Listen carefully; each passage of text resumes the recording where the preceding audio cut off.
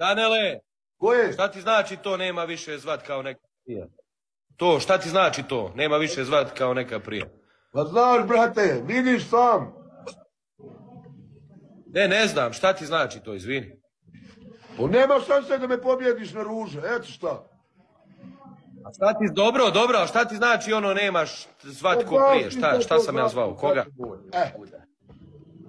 A? Ma nije on Buda. Pa nisam ti ja Buda, druže. Dobro. Ako nisi svaka čast. Ti stavljaš sve u... Nije svaka čast, ti stavljaš sve u isti koš. Ja sam rekao, ako nisi huda, svaka čast. Ne, ti kažeš nema, nema zvat ko prije i to. Ja Ja- nikad ja u životu nisam jednom, ni jednom šero moj live, a kamoli nekog zvao. Izvini, izvini.